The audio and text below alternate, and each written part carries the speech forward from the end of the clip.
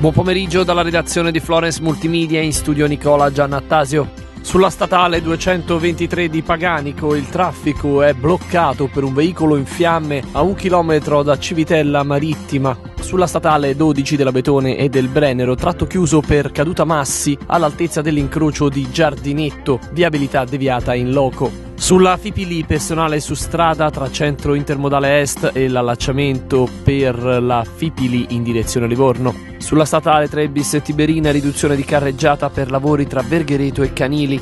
Per la giornata di oggi è stato proclamato uno sciopero di 4 ore fino alle 16 che interesserà il servizio pubblico gestito da CTT Nord a Pisa e provincia. Muoversi in Toscana è un servizio realizzato in collaborazione con Regione Toscana, Città Metropolitana di Firenze e Comune di Firenze. Buon viaggio!